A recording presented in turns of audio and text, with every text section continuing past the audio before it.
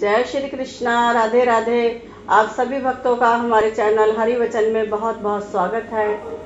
तीस तारीख को श्री कृष्ण जन्माष्टमी है और इस दिन के लिए आपको बहुत बहुत शुभकामनाएँ।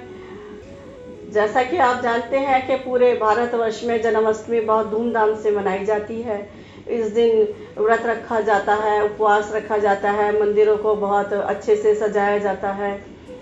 तो इस दिन जो है भग, सभी लोग भगवान को तरह तरह के पकवान का भोग लगाते हैं और कई भक्त जो है भगवान को छप्पन भोग लगाते हैं। तो ये छप्पन भोग भगवान को क्यों लगाए जाते हैं? इसके पीछे कई सारी कथाएँ हैं मान्यताएँ हैं। तो उसमें से दो कथाएँ मैं आपको सुनाना चाहती हूँ। जब भगवान किशन गोकुल में रहते थे अपनी माँ यशोदा के साथ, तब जो है माँ यशोदा उनको आठ पहर उनको भोजन कराती थी। आठ पहर मतलब दिन में से आठ बार उनको भोजन कराती थी। एक बार की बात है कि इंद्रदेव ने क्रोधित होकर गुस्से में बहुत ज़्यादा बारिश कर दी। तब भगवान श्री कृष्ण ने जो है गोवर्धन पर्वत को अपनी उंगली पर उठा लिया और सभी लोग उस गोवर्धन पर्वत के नीचे आ गए। तब इस तरीके से भगवान श्री कृष्ण जो है उस पर्वत को सात दिन तक अपनी उंगली पर उन्होंने उसे उठाए रखा।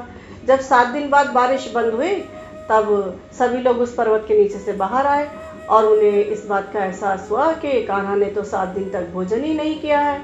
तब माँ यशोदा को बहुत दुख हुआ और माँ यशोदा और सभी जो गोकुलवासी थे, उन्होंने मिलकर भगवान के लिए आठ पहर जैसे माँ यशोदा उनको भोजन कराती थी, उस हिसाब से आठ पहर और सात दिन तक का भोजन उनके लिए छप्पन पकवान, छप्पन तरह के पकवान बनाए और उनको जो है वो भोजन कराया।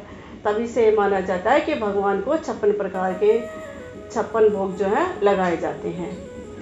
और इसके पीछे एक कथा और भी है।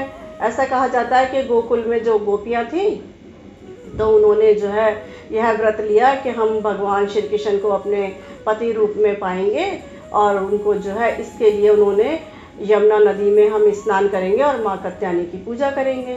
तो उन्होंने जो है एक महीने तक यमुना नदी में स्नान किया और माँ कत्यानी की विधि पूर्वक पूजा अर्चना करी।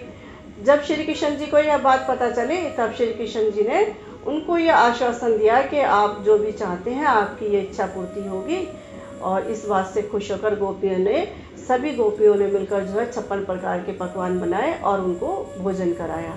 तब से ही ये जो है भगवान को छप्पन प्रकार का भोग लगने लगा और उनको छप्पन व्यंजन बनाए जाने लगे। और जो छप्पन प्रकार के भोजन होते हैं, भोग होते हैं, उसमें भगवान को जो भोग पसंद है, वही भोग लगाए जाते हैं। आमतौर पर तो इसमें अनाज, ड्राई फ्रूट, दूध, दही, घी और का ही भोग लगाया जाता है।